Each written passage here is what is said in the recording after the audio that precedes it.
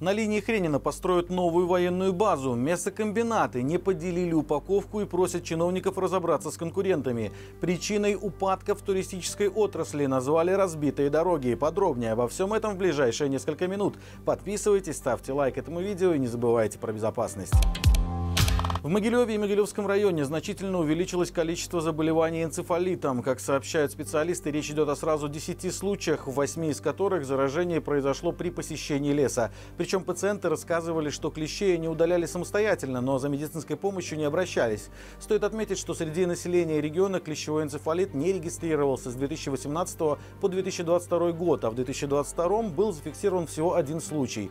Напомним, ранее мы рассказывали, что за 5 месяцев этого года в Могилевской области области зарегистрировано 44 случая заболевания лайм-боррелиозом. Это в два раза больше, чем за аналогичный период прошлого года. Причем практически все заболевшие не обратились за медицинской помощью своевременно и не получили профилактического лечения сразу после укуса клеща. Вблизи поселка Калинина в Гомельском районе планируется строительство новой учебной военной базы. Из документов госзакупки невозможно понять ни стоимость строительства, ни детали ведомственной принадлежности нового объекта. Журналисты флагштока попытались найти дополнительную информацию, но, как оказалось, в Гомельском райисполкоме не знают о появлении новой базы. А карта земельного кадастра Беларуси не содержит участков для строительства объектов в районе линии Хренина. Зато в соседней Брестской области в августе завершилась закупка подобной услуги вблизи поселка Саки, Челябинского района. Там на строительство базы планируется выделить довольно серьезную сумму, около 700 тысяч долларов. Как ранее указывала мониторинговая группа белорусских гаюн, в этом месте был возведен участок линии оборонительных сооружений, представляющий собой цепь окопов и блиндажей. Можно предположить, что под Гомелем также вооруженные силы будут отрабатывать оборону и штурмы условного укрепрайона.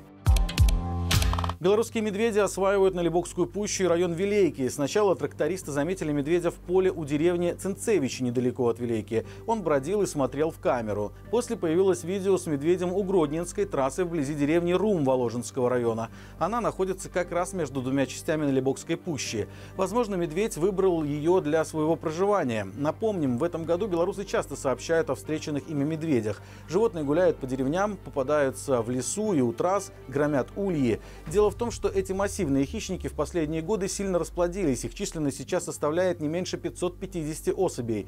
По этому поводу общество охотников и рыболовов настаивает на начале отстрела медведей, которые пока что занесены в Красную книгу. Но подвижек в этом вопросе нет. Стоит отметить, что белорусских медведей специалисты считают не особо агрессивными по отношению к людям. К примеру, пять лет назад под Витебском медведь решил напасть только после того, как его погладили и вынесли варенье. Власти Брасловского района задались вопросом, почему в регион едет мало туристов, несмотря на природу, инфраструктуру, историко-культурное наследие. И пришли к неожиданному решению. Причина в дорогах. Как заявила заместитель председателя райисполкома Ольга Величко, развитие туризма в регионе тормозится из-за того, что грузовики, которые двигаются в сторону погранпереходов с Литвой и Латвией, разбивают асфальт и местами покрытия требуют капитального ремонта. Помимо этого, чиновница отметила, что турпоток на Брасловщину постоянно падает осенью и зимой, из-за чего мест местные базы отдыха в межсезонье загружены всего лишь на 35-40%. Поэтому в регионе хотят организовать больше охотничьих и рыболовных туров, спортивных мероприятий, туров выходного дня с анимационными и развлекательными программами наподобие новогодних.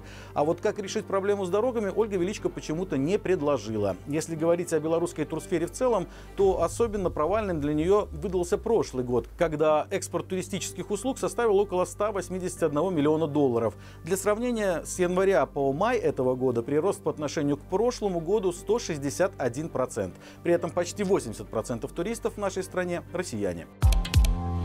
Медсестра из Минска спасла троих человек на озере под Пинском. Анжелика Железняк была в отпуске, отдыхала там со своими близкими. Как вдруг у обрыва начала тонуть женщина. Медик побежал к ней, нырнула и вытянула ее за волосы при помощи дочки. К счастью, женщина отделалась испугом. Спустя какое-то время Анжелика заметила, что все у того же обрыва тонет девочка. Мама начала ее спасать, но дочь утянула ее под воду. К счастью, и их удалось вытянуть из воды при помощи друзей и дочки. Спасенные мать и дочка тоже в полном порядке. Стоит отметить, отметить, что за этот купальный сезон в Беларуси утонуло 276 человек, а спасено было более 280.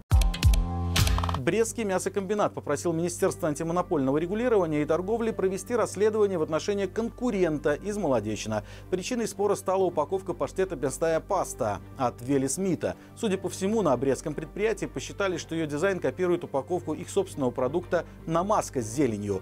Чтобы разобраться в споре, Март обратился за помощью к белорусским покупателям и предложил пройти опрос у себя на сайте. В частности, ведомство интересуется, знакомы ли потребители с продукцией обоих предприятий и правда ли упаковка разных паштетов настолько похожа, что их можно перепутать в магазине. К слову, это не первое подобное разбирательство в отечественном бизнесе. Так, Туровский молочный комбинат однажды пожаловался, что витебская компания начала выпуск моцареллы в краденой упаковке. Потребители тогда с этим не согласились. А вот гомерская кондитерская фабрика «Спартак» жаловалась на фирму «Юни Аква» из Могилевской области, которая выпустила похожий набор конфет.